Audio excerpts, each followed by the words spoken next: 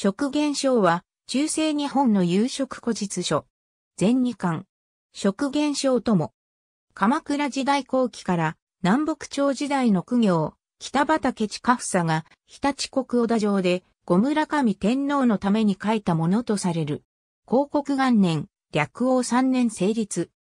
簡易日本の完成の成立や遠隔、部人や昇進の流れ、それに伴う儀式、各職に任ぜられる価格、個々の章、量、司、職、ところの職称や豆名、簡易相当などを漢文で記す。軍書類中官職部72巻に収められている。慶長13年には中原職中が皇帝を行い、活人札本を刊行している。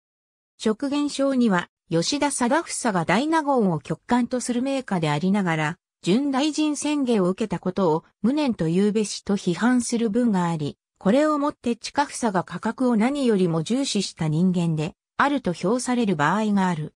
しかし、この箇所は、後世に書き足された部分ではないかという指摘がある。したがって、この記述のみによって、近房の思想を判断するには慎重になる必要がある。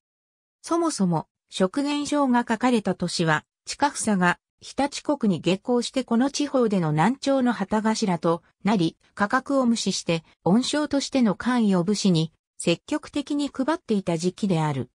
また、近房は、昌平6年に準三宮宣言を受けるが、それまでに、石棺、皇族、高級、高層以外で準三の宮となったのは、平の清盛だけである。もちろん、北畠家が、そのような宣言を受ける価格になかったことは言うまでもない。